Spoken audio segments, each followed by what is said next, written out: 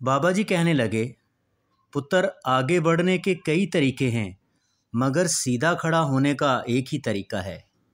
कई लोग पैसा कमाने के लिए अपनी सेहत ख़राब कर लेते हैं, फिर उसी पैसे को दोबारा सेहत ठीक करने के लिए खर्च कर डालते हैं। ज़िंदगी वो डील है, जिसमें वक्त पर तय करना पड़ता है कि करना क्या है और क्या नहीं करना। इससे बड़ा मकसद और कोई नहीं कि इंसान दूसरे इंसान को नुकसान देने वाला ना रहे, बल्कि फ़ायदा देने वाला बन जाए। ज़िंदगी में एक मकाम ऐसा भी आता है, जब आदमी उन लोगों के लिए भी दुआ करता है, जिन्होंने उसके साथ ज़्यादती की होती है।